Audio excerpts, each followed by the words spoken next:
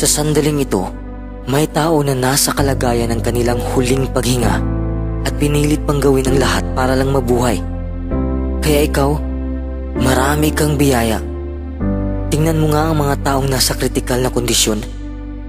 Damhin mo nga kung gaano ka pinagpala. Alamin mo nga kung gaano ka pinagpala. Sigaw mo, ako ay pinagpala. Ako ay pinagpala. Salamat sa mga binigay mo, Diyos. Magtiwala ka na lahat ay gagana para sa'yo. Siguro hindi man katulad ang resulta sa pinlano mo, ngunit nakakapagpabago naman ang kaluluwa mo. Magtiwala ka na lahat ng hiniling mo ay mapapasayo. Darating ito sa perpektong oras. Darating ito kapag handa ka nang tanggapin ito. Hindi mo makakamit ang gusto mo kung wala kang tiwala sa sarili mo. Huwag kang mabahala. Always trust God's perfect process. Maging positibo ka lang palagi kahit hindi mo pa nakikita ang bunga ng iyong pagsisikap. Keep watering your dreams. Damhin mo na para bang nakamit mo na ang gusto mo. Damhin mo kung ano ang tunay na pakiramdam na wala ka nang mahihiling pa. That's what we are all seeking. The feeling that we have it all. And we do have it all. It's all inside of us. True success is when you come to a place of needing nothing, yet having everything. Minsan hindi natin makakamit ang gusto natin.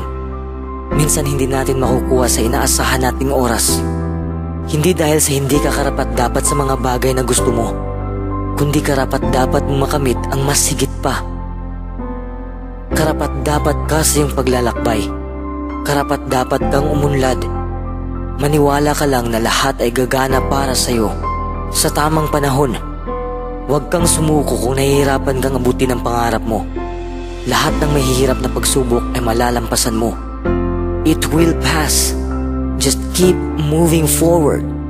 Kung susuko ka, talo ka. Kung kakayanin mo, magtatagumpay ka. Magtiwala ka sa proseso ng Diyos at magtiwala ka rin sa sarili mo.